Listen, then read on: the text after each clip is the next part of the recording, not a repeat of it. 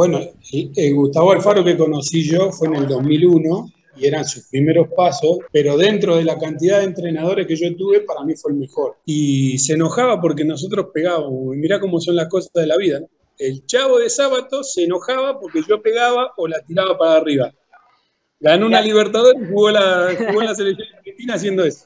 Pero yo para empezar a jugar al fútbol, llegué a jugar al fútbol porque entendía cuáles eran mis limitaciones. Y Racing y Newell en ese momento me ofrecían un contrato y el presidente Olimpo lo equiparaba. Haciendo un esfuerzo lo equiparaba. Pero ¿sabe qué? Si yo iba a Racing no iba a Newell, no iba a jugar 19 fechas en una cancha de dimensiones reducidas.